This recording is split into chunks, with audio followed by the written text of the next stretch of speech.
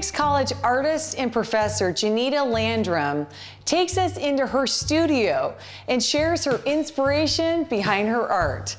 Welcome to Spirit of the Arts. I'm Andrea Zakshesky. Creating art for me always gave me just this peace. Even as a little person, I remember that, that feeling.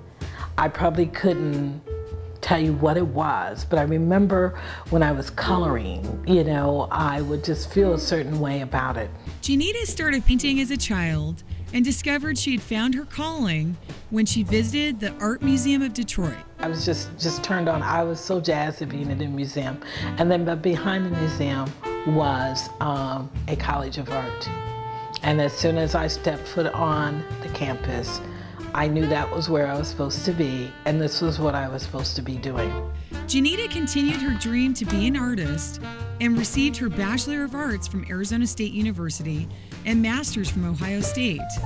Her work has been exhibited in solo and group exhibitions. How I celebrate my heritage of being an African American female, and then also with that being a woman. Those two things are kind of a revolving type of um, concept as I work in bodies of work and in each body it takes on a different type of characteristic. It started making this texture. I love the texture. I do too. Those are pieces that um, I created um, while I was in Germany. It's a little bit about Germany and it's a little bit about me. I think it's contemporary and conceptual. People know my work more so because of the color. I'm a master colorist. I love layering, whether I'm painting, I'm watercolor, I'm drawing. I like to slowly build up to a certain type of intensity. What I like about her art and what speaks to me is that I have always been a person who enjoys looking at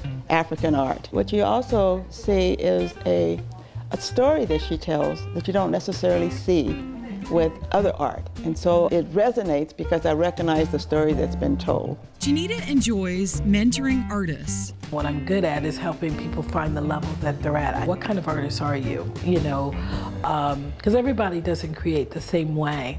She has given emerging and new female artists a place to show by exhibiting them in art galleries. Janita enjoys spreading her wisdom in the classroom as an instructor at Phoenix College.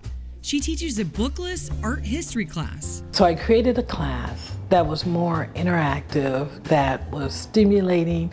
It was about the student. At the same time, I could bring in the historical references of art history. She has a few suggestions for artists. What I always tell artists is that learn how to play. A lot of students that I talk to, they come in there just so serious. It blocks that creativity. Through that play, what happens is that you're gonna have breakthroughs. I've had really good mentors along the way. They were all very successful. I figured that uh, one day what I would do is that I would be able to mentor other women. And so that is actually what I'm doing. Janita keeps in touch with artists she mentors and gets to hear their success stories. One of my students, she called me the other day and she's going to Goldsmith in London. This girl is incredible. I've shown her in my gallery. She's in my traveling exhibition because she's very good. I am giving her that same experience that my mentors had did for me.